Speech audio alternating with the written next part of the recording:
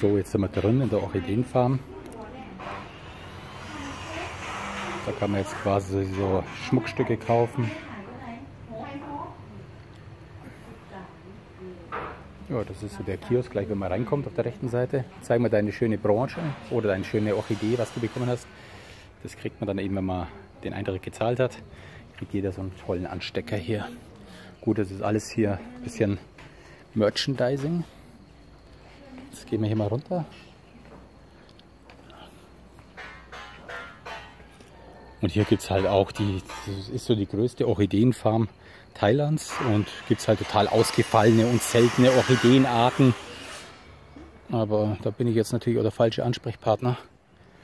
Welche da jetzt selten ist, auf jeden Fall schaut alles sehr cool aus. Sehr schön. Ups.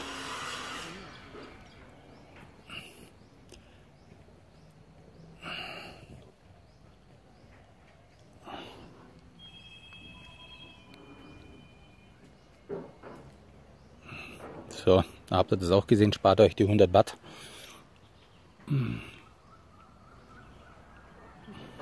100 Watt sind ungefähr ja, knappe 3 Euro, sage ich mal. Je nachdem welcher Kurs ist. Also momentan haben wir zwischen 35 und 38 Watt ist 1 Euro momentan. Also bei uns jetzt hier. Na, ich weiß es nicht. Also es ist täglich variabel. Wir haben jetzt natürlich jeden Tag oder jetzt mal, wenn wir gewechselt haben, andere Kurse gehabt einmal 34,8, einmal irgendwie 35,4, einmal 37,6. Gestern war der beste Kurs.